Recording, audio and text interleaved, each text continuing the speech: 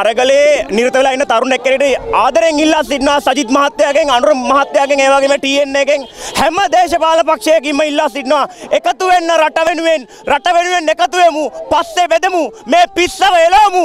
රට බේරගමු. මේ පිස්ස ගෙනාපු රනිල්ලත් අපි එළවමු. එළවලා රට බේරගමු. තරුණ අපිට පුළුවන් මේ රට බේරගන්න.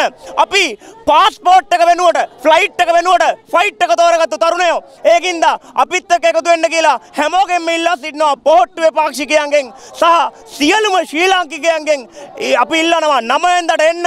එදාට පක්ෂ පාට ඔක්කොම පැත්තකින් තියලා සිංහ කොඩි අරගෙන එන්න. සිංහ කොඩි අරගෙන ඇවිල්ලා අපේ මව්බිම බේරගමු අපි අනාගත පරම්පරාවට සුරක්ෂිත ශ්‍රී ලංකාවක් ගොඩනගමු. අරගලයට ජය වේවා!